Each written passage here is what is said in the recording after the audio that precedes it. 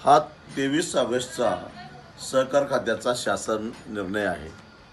यामध्ये महापुरानं बाधित असणाऱ्या शेतकऱ्यांचं दोन हजार एकोणीसचं खरीप पिकाचं कर्ज माफ केल्याचं म्हटलेलं आहे. ज्यावेळी मुख्यमंत्र्यांनी घोषणा केली त्याचवेळी मला संशय आलेला होता की याच्यामध्ये निश्चितच गोलमाल आहे. खेड्यापाड्यामध्ये एक म्हण आहे लबाड घराचं जेवणाचं आमंत्रण जेवल्याशिवाय खरं नसतं तेच याच्यामधून सिद्ध होतं. या शासन निर्णयानुसार जर का काटेकोर अंमलबजावणी करायचं झालं तर एक एप्रिल ते चौदा ऑगस्ट या काळामध्ये ज्यांनी कर्ज उचललेलं आहे तेच या माफीस पात्र ठरतील.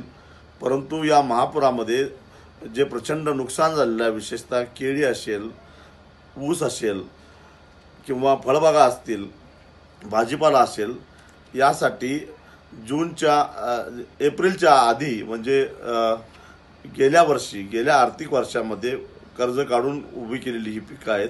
आणि केवळ मा दोन हजार अठरामध्ये कर्ज घेतलं. म्हणून जर ते का माफीस पात्र ठरत नसतील तर याचा अर्थ फक्त वीस टक्के पूरबाधितांना न्याय मिळणार आहे.